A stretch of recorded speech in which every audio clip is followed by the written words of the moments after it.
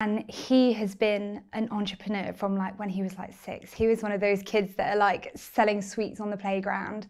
And at uni, he had like five different businesses. So he has always been like through and through an entrepreneur. Love that. Yeah. So he's the exact opposite of what you are. Yeah. But actually, how well did that combine? Yeah, yeah, so good. So he, whenever he used to talk about having his own business, I was like, "You're actually crazy. Like, why would you want your own business?" Like, and he would work weekends, and I would be like, "Can you just stop? Like, I don't get it. Like, I never really understood it because he would obviously be working towards his business, so it just meant so much more to him than my corporate life." So I went to him and I was like, "Look, I'm really not happy in my job." And I want to do something different. And he was like, Well, why don't you start your own business? And I was like, You're crazy. Like, how on earth am I going to start my own business? Like, I don't know. I like, I literally was in that box. I didn't know accounting. I didn't know product. I didn't know manufacturing. I literally was a total blank canvas.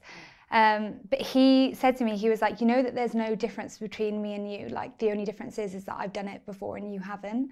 And it honestly was like another like flick. I was like, oh my gosh, like I actually think I could start my own business. And then from that point, it sort of like snowballed into like me obviously then starting the business officially. I love that. Like the encouragement and the support. Yeah. Which actually relates to how we've been introduced as well. Yes. Moving on to Steve Hewitt, who was the CEO of Gymshark for 10 years. He's Yeah.